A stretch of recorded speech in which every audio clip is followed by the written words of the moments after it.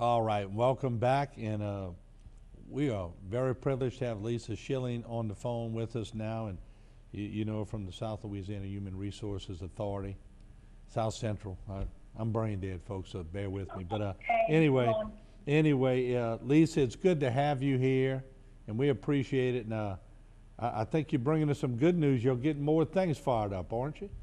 Oh my goodness, we have some really great news, Martin, and a lot of people that helped us make it happen. Today, our clinic in uh, Morgan City, St. Mary Behavioral Health Center, is open. Um, that's on 500 Roderick Street. And um, we're offering services from 9A to 2P, so kind of an abbreviated schedule. But um, we have all of our staff uh, available there, all of our providers, our psychiatrists, nurse practitioners. We have our primary care along with behavioral health staff are in there. And so we're trying to see crisis and walk-ins and check up on those patients that we know um, would have had a really hard time with what has happened to us in the past week and a half. And um, doing assessment, medication refills, um, also, you know, um, injections for are some of our people that are on long-acting injections, and trying to also follow up with our uh, our MAT patients, so those that are on Vivitrol Suboxone. You know, we talked last time about how important it is to to keep people on their meds, and that when you some meds when you get off of them, they say to do it slowly. But if you don't have it, it's an abrupt, uh, it's an abrupt like jumping off a cliff kind of thing. So uh, that's very important. But I, I'm I'm not shocked because I know Louisiana, but things are moving pretty quick. That's very encouraging. Oh, it's oh, it's amazing. Um, the other the other good news that we have is that our clinic here in Houma will be opening up tomorrow, and we owe a debt of gratitude to the Army Corps of Engineers who came out on Saturday night at eleven o'clock. And uh, went ahead and put that generator in for us, and I'm pretty sure that Parish President Dove and our EOC had something to do with that. So thank you to them and um, we were able to get our, our staff in there and get everything checked out. And so they will be offering the same type of services as St. Mary um, starting tomorrow, abbreviated schedule 9 to 2P. And um, we have our staff there available to uh, see everyone. So once again, mental health addictions and primary care services will be provided.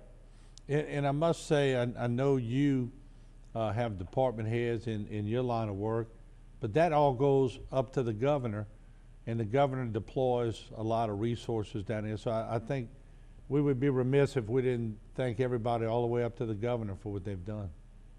Uh, well, look, I have an amazing uh, executive team. Uh, they're all spread out. We're all doing what we can to make sure that we can get these services in place.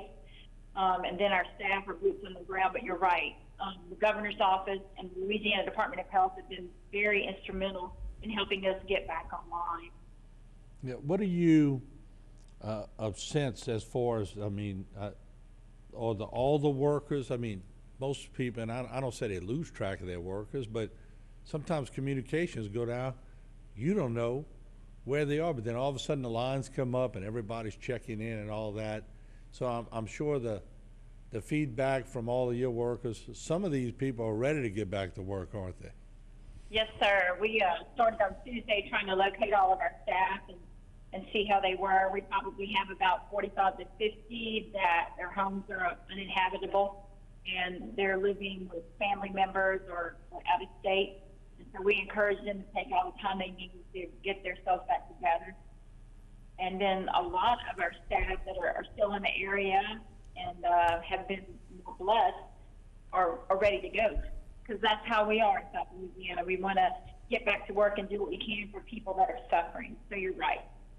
Yeah, I mean, uh, you know, some people that that just, and I'm around a lot of those kind of people. If they don't have something to do, they get nervous. You're more nervous because you don't have something to do. But let me ask you this: as we're we're talking to the public now, and I know a lot of your your stuff is driven by, you know, licensed people who are very skilled in what they do, or in medicines and that type of thing. But is there anything you need that you have not received yet that we could help with? I really need help. from the governor's office in FEMA, and I've, I've had this conversation about six or seven times to get a generator for my clinic in LaPlace. It fared very well. We sit right behind the Parish Government Complex there on Airline Highway, and um, we are removing a, a tree that kind of fell on it. Didn't didn't hurt the building, but if I could get a generator, I could see patients. And let me tell you what, the people in the plot and the surrounding area need all the help they can get. It- What, what do you need? You know the uh, KW? I would need probably hundred kW. Okay, hundred KW.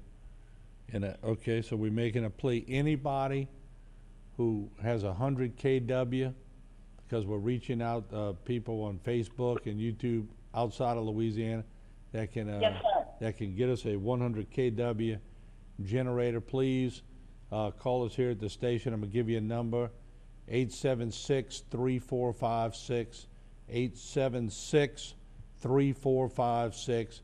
And, uh, Lisa, we'll put the plea out and see if somebody's got a hundred KW sitting around that they're not using. I would love that, and we'll take very good care of it. We can, you know, um, we just need that to, to be able to fire up the building. So that would be awesome. I, I would be remiss if I didn't mention our developmental disability services as well. You know, we take care of a lot of individuals that need um, a lot of assistance um, for care and in their home, and so our staff has been checking on all of our waiver patients also with our support coordination agencies to provide the care in the homes and to those individuals. And we're also making sure that the checks that we provide on monthly for assistance in the home or individual family sort support and flexible family funds are going out. So we are taking care of them in the midst of the storm, so to speak. All right, well, Lisa, we appreciate it. We thank you for joining us. And Jay, let's put up that graphic as we leave. Uh, the folks and Lisa Schilling doing a great job getting everything there. You see it right there. And, uh, and she had some good news for us. Lisa, thanks for joining us. Thank you so much, Martin. Appreciate it. All right, okay, we'll take a short break. We'll be back with more. Don't go away.